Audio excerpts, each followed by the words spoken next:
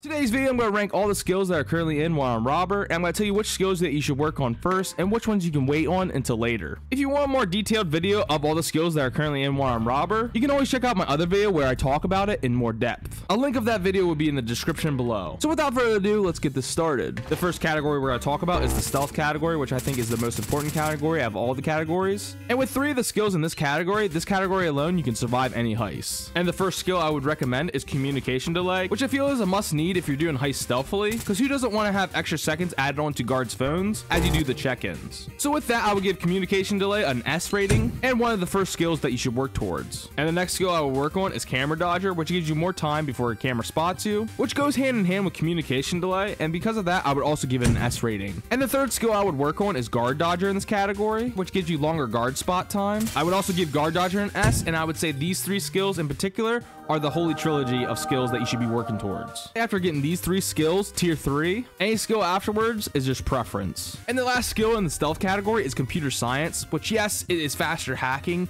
but you don't unlock the hacking tool until level 17. And sometimes it's just faster to get the key card rather than play the hacking minigame. And with that, I would give it a B tier. Since most of the time I do the heist stealthily, the rest of the rankings are going to be ranked if I was doing the heist loud. Starting off with the next category, the breaching category, and the first skill we're going to talk about is saboteur. I think the saboteur skill is a must if you're doing the heist loud, which will increase the speed of the power boxes. And with that, I give it an S rating. Moving on from that is the drill safety skill. Since the skill can make you immune for a certain amount of seconds and you can heal during that time, I would give it a C rating, but since we learned what we can do with C4, check out that video, link in the description below, I would give it a B rating. And the last skill is the armor feat skill, which sadly, I think this is the first D ranking. It barely passes. Yes, you can move faster in barbed wire, but most of the time you can just shoot the barbed wire or you can just see the interceptor a mile away and kill him.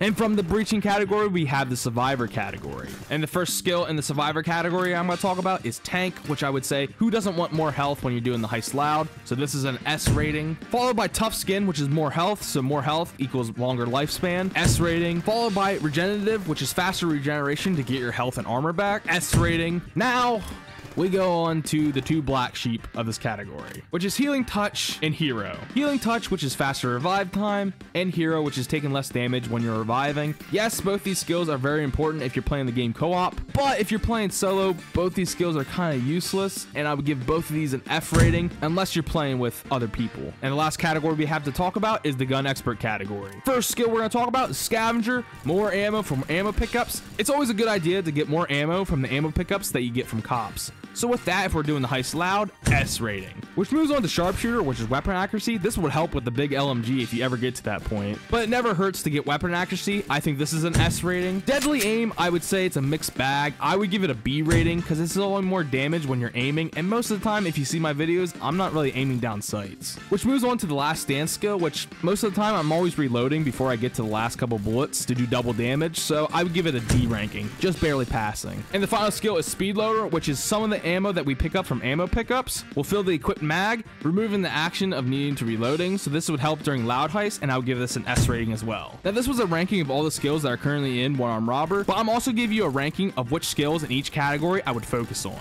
So obviously the stealth category, I would recommend communication delay, guard dodger, camera dodger. Since the breaching category has three, I would say saboteur is the must. For the survivor category, I would say tough skin, tank, and regenerative. And in my opinion, the three skills that you should work on in the gun expert category is Scavenger, Sharpshooter, and Speed Loader. And with this, we've ranked all the skills that are currently in One Arm Robber. I hope you enjoyed the video. If you did, please leave a like, comment, and subscribe to help the channel grow. If you want to see a funny video, click the video on the left. If you want to see more informative videos on One Arm Robber, click the video on the right. And like always, I hope you guys have a fantastic day, and I'll see you in the next video.